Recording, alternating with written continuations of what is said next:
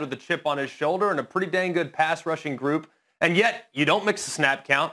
You don't change the launch point by getting your quarterback out of the pocket. And honestly, guys, if they're not willing to change, the guy that gives them the best chance to win is Mitch Trubisky. Because at least he gives you a chance offensively because of his legs. He can create, he can run around, and yeah, he might throw a couple picks, but you know what? So be it. At least we're getting looks. Because last night, the way Foles was just stationary in the pocket, they're not going to be able to beat top level, top defense, top pass rushing teams, and that's what they're going to see in the playoffs. So ultimately, they got to get things figured out, or they need to really strongly consider going to the more mobile option of their two quarterback options. That's an interesting. Well, then, Graziano, let me quickly go to you as my insider. Any reason to hmm. think that they're considering that?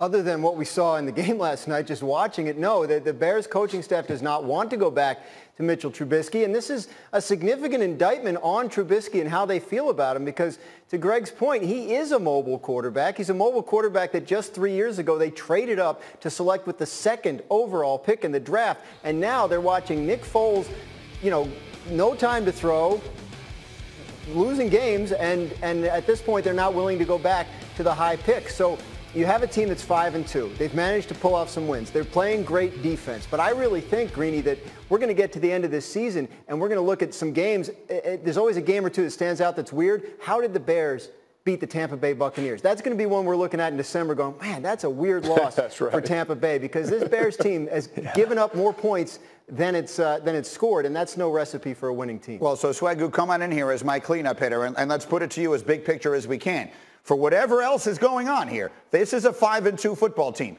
And as Graziano just said, they did beat Tampa Tom and the Buccaneers on a Thursday night. Is Chicago a playoff team in the NFC in your mind, Marcus Spears? Hell no. And listen, this is this this record is fool's gold.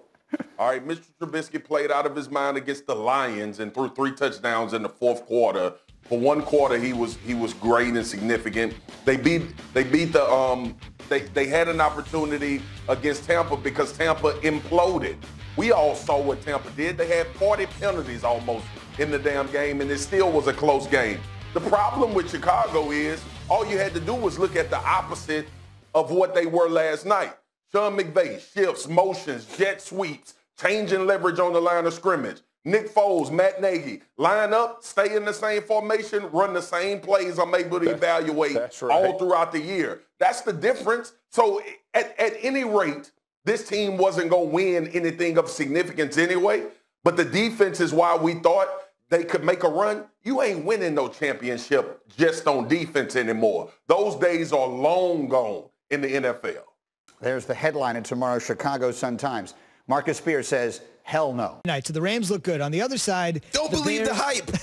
the Bears not so much. Jay's phrase there might sum up Chicago really, really well. Let's get to the meat of the issue: a potential miscommunication between Nick Foles and his head coach.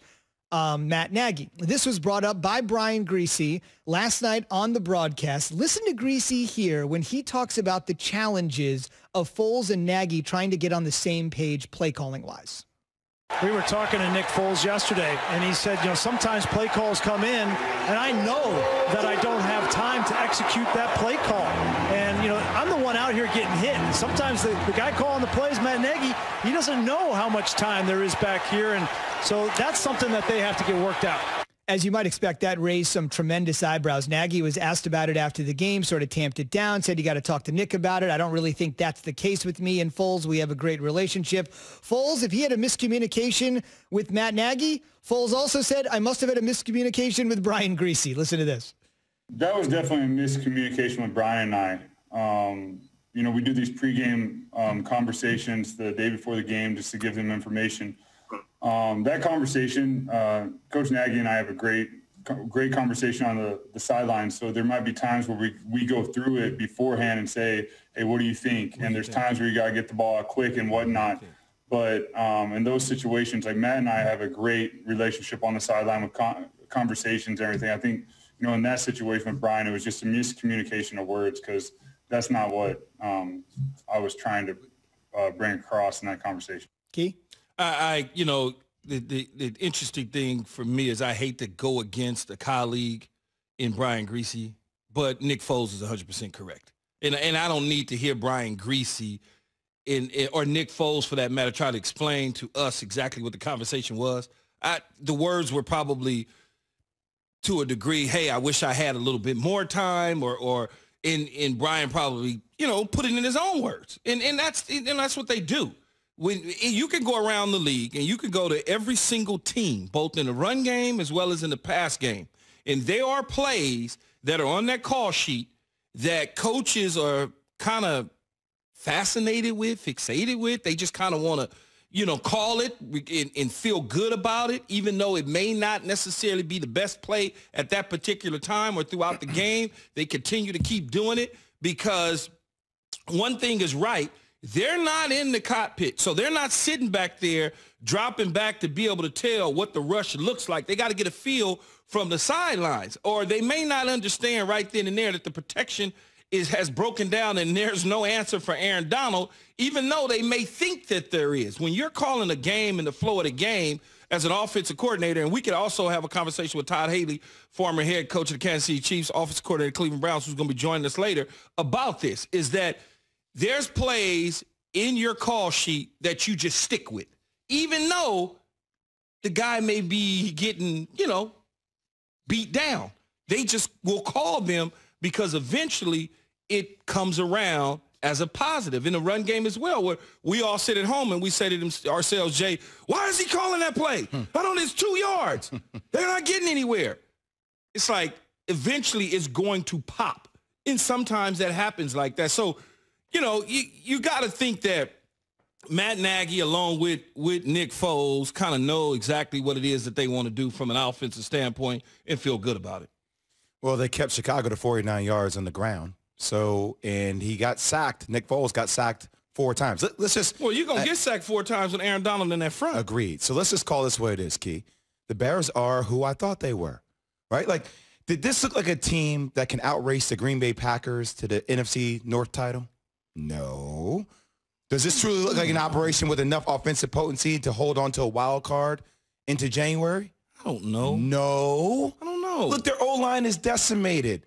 Louis Riddick said it during the, the Monday Night uh, Football broadcast. He said, look, you can't make players bigger, faster, and stronger. And when the defense can't get you points, you're going to be in trouble.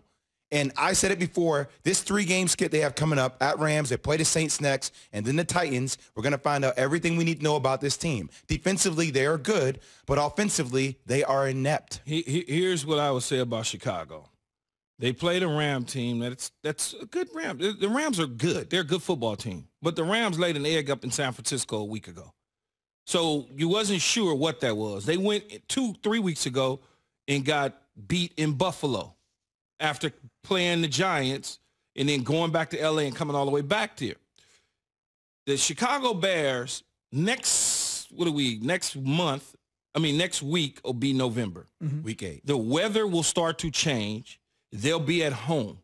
When the in Chicago, when you play outdoors, this formula for them, which is try to run the football, limit your mistakes, which Nick Foles had two interceptions last night, so that hurt him, and play defense in that weather is portable. So I'm not ready to say that they're not a legitimate team. So they have to win ugly.